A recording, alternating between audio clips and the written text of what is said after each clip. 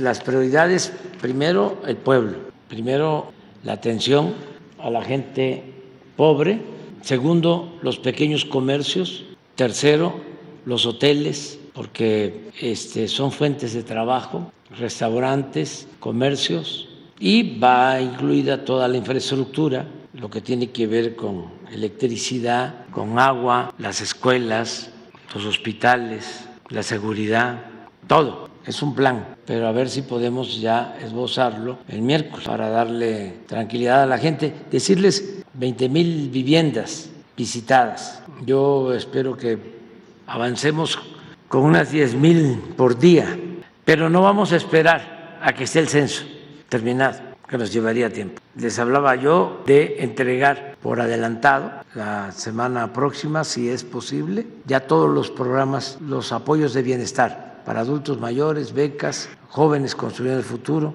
personas con discapacidad, todo, esa es una buena derrama económica, va a ayudar, eh, y otras cosas más. Pero bueno, el miércoles lo vemos. ¿Hay empleo temporal para la gente que se quedó sin trabajo? Sí, va a haber, va a haber este, contratación, sobre todo de jóvenes. Se va a ampliar el programa de jóvenes construyendo el futuro eh, para trabajos de limpieza y todo lo que se requiere.